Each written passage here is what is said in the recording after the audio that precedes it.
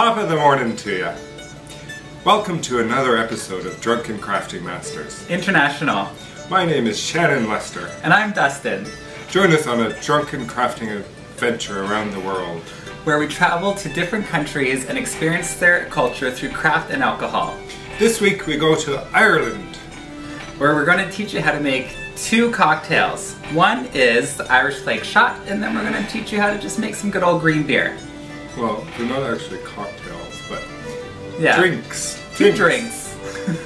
And we're also going to teach you how to make a leprechaun finger puppet. Okay. Alright. Slancha. Slancha!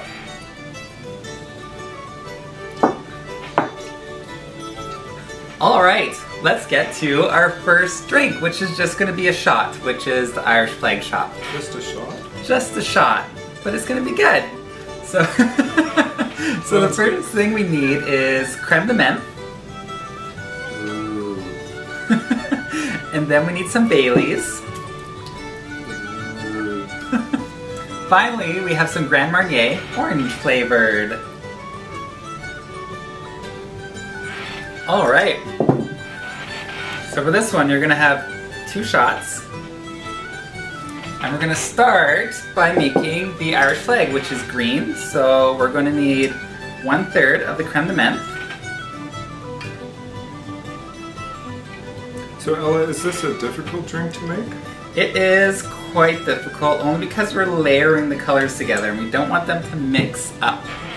And then we're gonna need some Baileys and you're gonna need a spoon to do this. And you're gonna wanna pour this really slightly on an upside down spoon over the drink.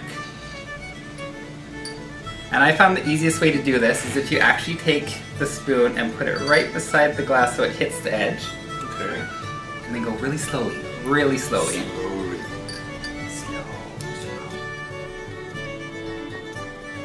Oh, it's starting to flow. Yeah. Very delicate. Look at that. Sexual. You're going to want to do this shot pretty much right after you make it because the Baileys will start to coagulate and you don't want that. Class! you are Ella. That's right, and then the Grand Marnier on top with the same technique. As you can see, it's the flag where it's green, well, semi-white, and orange. Hers is a little bit better than mine, That's beautiful. but um, slancha. Slancha!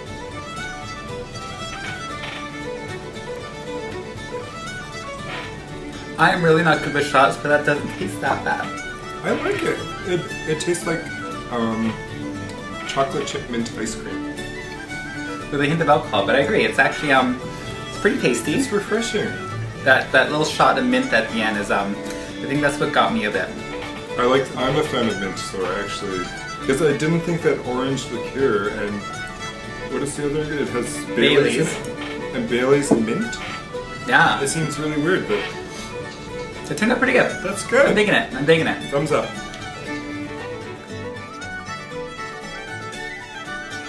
Get on to our second drink, which is just gonna be the good old green beer.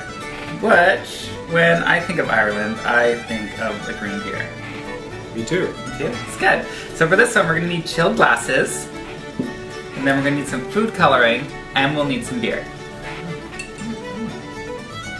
We want to choose a light beer so that we can really see the green show up with the alcohol. And since we're using a light beer, we're gonna want to put about, uh, we'll say, six to seven drops of food coloring. And you want to use the liquid kind, not the gel kind, because the gel apparently will smush up and look really chunky inside the drink. Really? I've never heard of gel food coloring before. Neither have I. but the internet told me, so it must be true. It Must be true. Alright, so once again, six to seven drops. One, two, three, four, five, six, seven. Oh, I put eight in mine. I think the more the merrier, really. Eight! And then we're going to want to pour our beers into our drinks. Shannon, if you want, you can pour yours with me. I'm gonna pour my own. So in case you don't know how to pour a drink, tilt your glass, pour the beer. Oh, I got a little over eager. Oh. Look at that green goodness. Ah, yeah. Look at that. Now this is a green beer. It looks There like melon soda or something. No, it's fantastic. All right, well, um, now you need to know the food coloring is not going to change the taste of the beer, so pick a beer that you like and really enjoy. Yeah. Slancha. Slancha. I already know that I like 1516, so it's tasting pretty good to me. I feel like the head tasted funny though. It's good because all I had was a shot of my head on that time.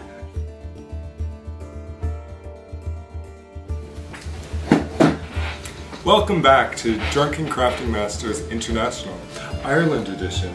yeah. Hey Shirley Temple. Hey, all those Irish drinks just made me feel so Irish.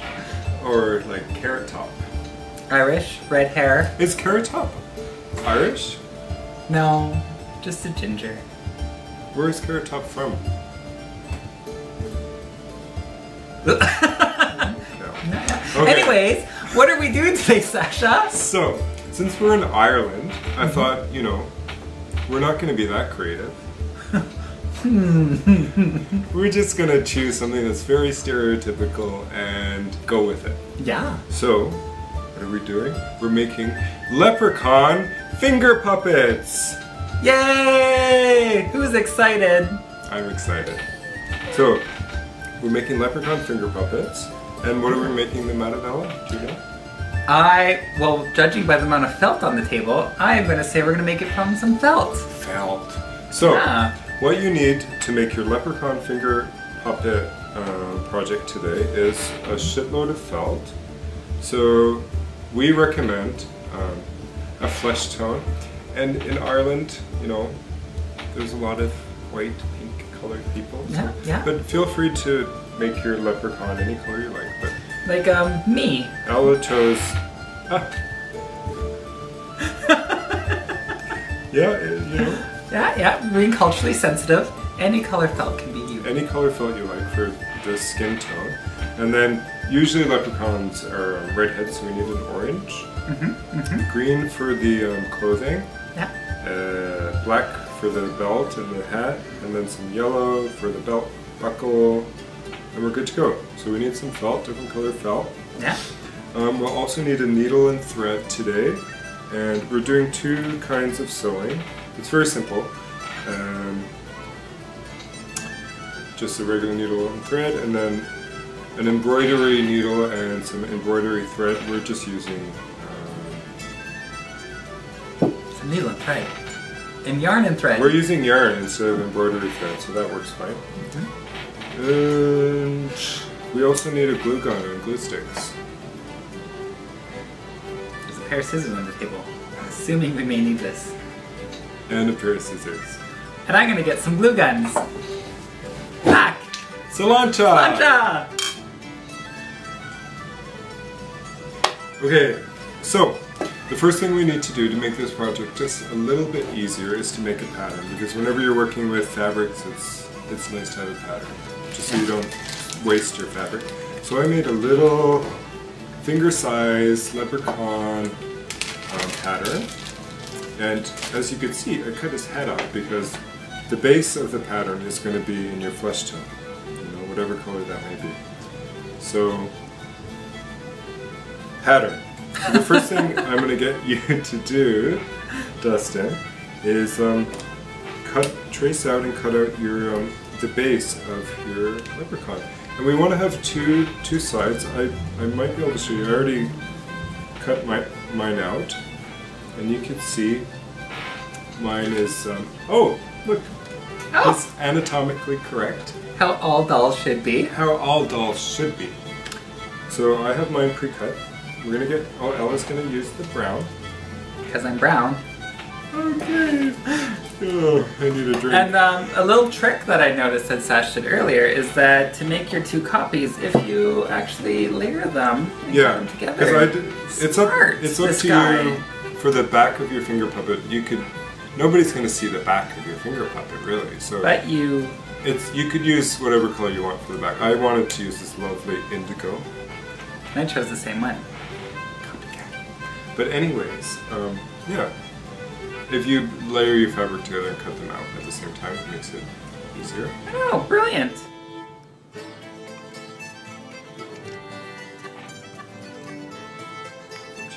let's do our clothes next. So, to do the clothes, you could also use your um, pattern.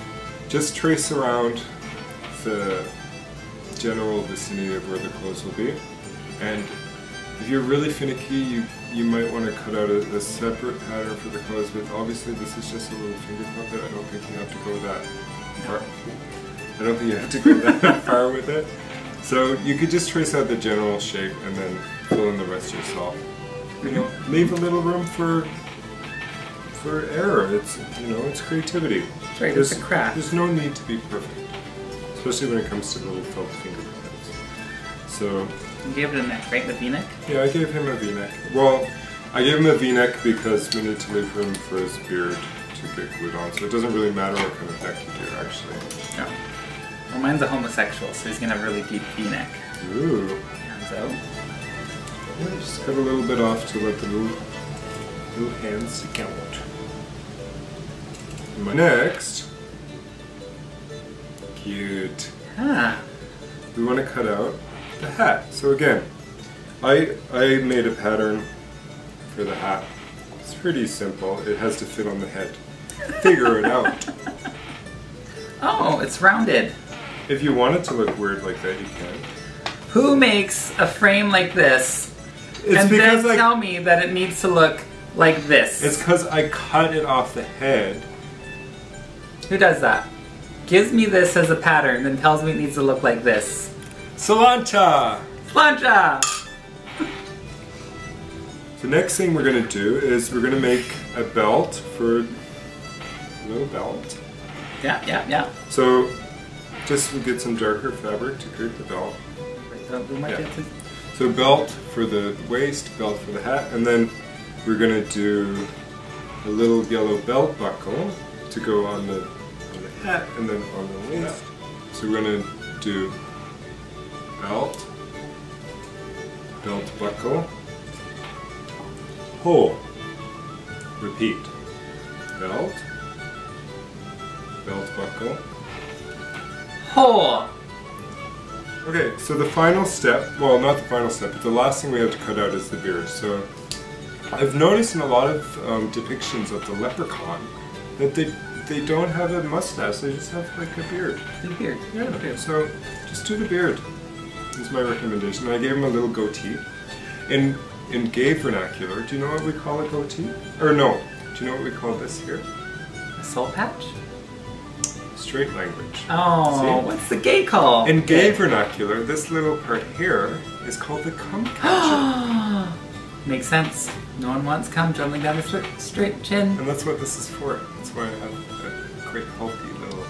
But he also has a reservoir right there, because apparently he likes gushers. Well, normally it's just like Everywhere. Okay, so once you have all your individual pieces cut out, the body, the hat, the belt buckles, what we're gonna do is we're gonna take the body, mm-hmm. and we want to put on the eyes before we do anything else, because this is the only embroidery that we're gonna do.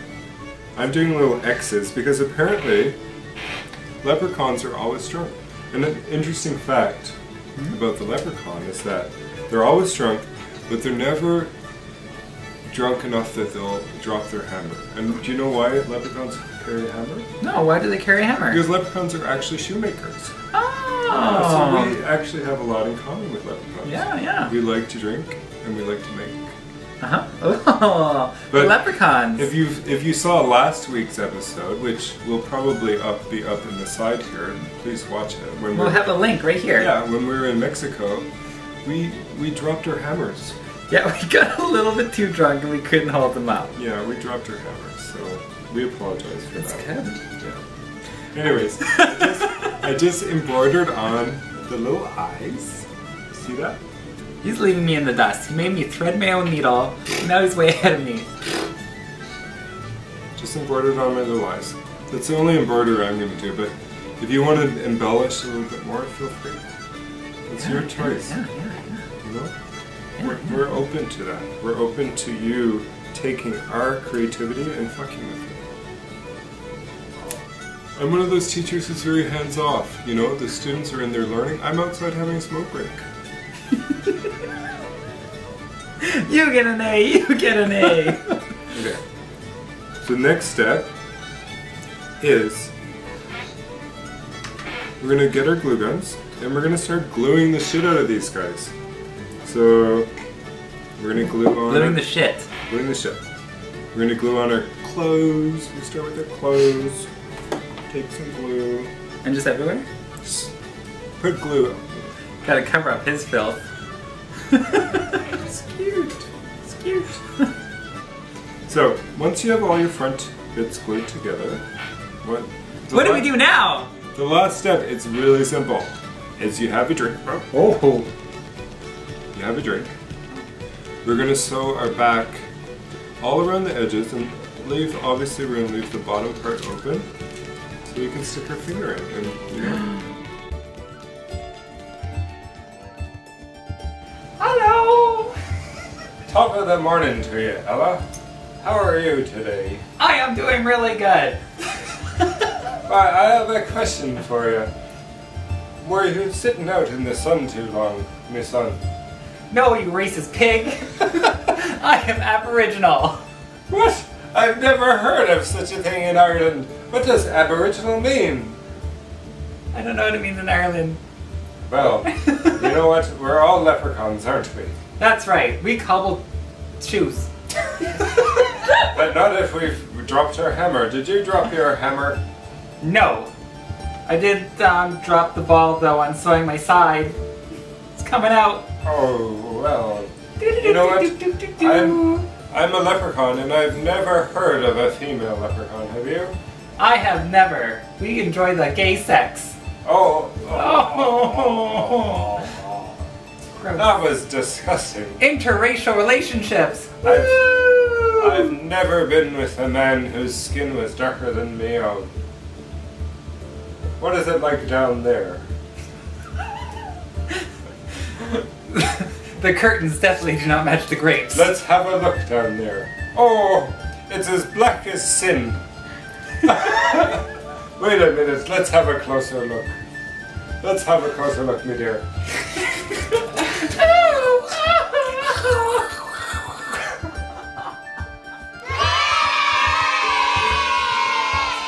That was a successful trip, right? We, we didn't drop our hammer tonight, did we, Ella? No. Well, tonight you saw us make two drinks. The Irish flag shot, which is fantastic if you learn how to pour the, the top part. It's actually called floating. And then you'll be able to make um, the, the alcohol sit on top of each other. It was good, I don't mind it. And then our green beer, slancha. One tap. And we also learned how to make a little leprechaun finger puppets. Yeah! I did the, the half-ass route because I ran out of thread and it's unstitching itself. Pretty good compared to last week.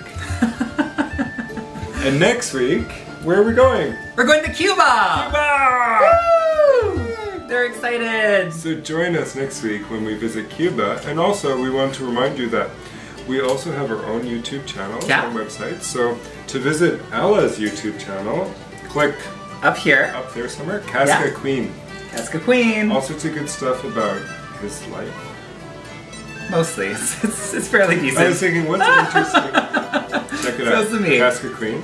Yeah. My channel. And then if you want to check out Sasha's channel, which she has about a bunch of her art, click on this side. Random stuff. Yeah, we'll But- also create a link to her page or to her website down here, which has a lot of her art. ShannonLester.com. Yeah!